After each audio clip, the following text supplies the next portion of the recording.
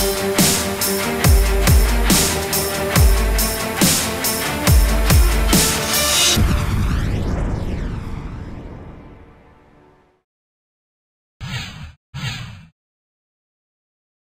Големия български писател академик Антон Дончев беше предложен днес за почетното звание доктор Хонорис Кауза на Великотърновския университет Свети Кирил и Методи за съществения му принос в развитието на българската литература.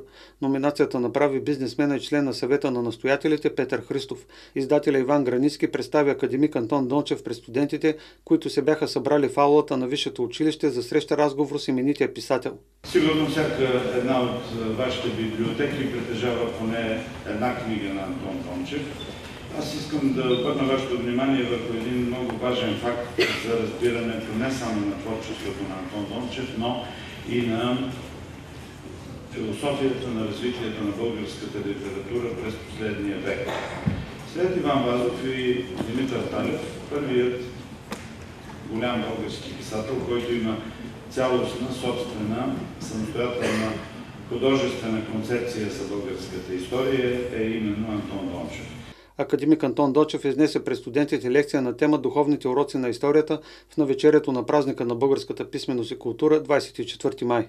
Всъщност ние празнуваме три български чудеса. Появата на нашата азбука първите съчинения на нашия български език.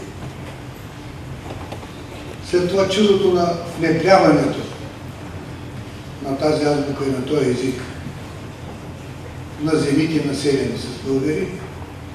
И третото чудо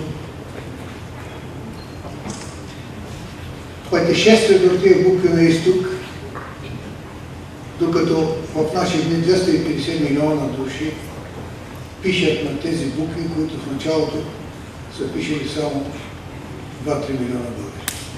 Университетската библиотека получи дарение с книги на Антон Дончев от Общинския съвет във Велико Търново.